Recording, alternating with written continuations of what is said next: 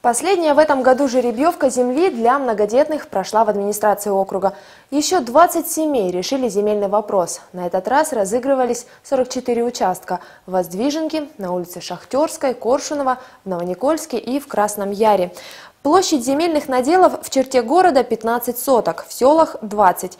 По некоторым из участков начали разрабатывать проектно-сметную документацию по проектированию дорог и коммунальных сетей. В Воздвиженке, например, общая сумма проектирования больше 52 миллионов рублей.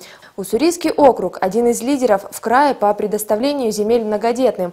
Свои участки уже получили 945 семей. Следующие наделы будут сформированы уже в 2016 году. Желаю, чтобы вы там на этом земельном участке построили тот дом, который будет для вас крепостью, ну и, соответственно, чтобы все было у вас хорошо.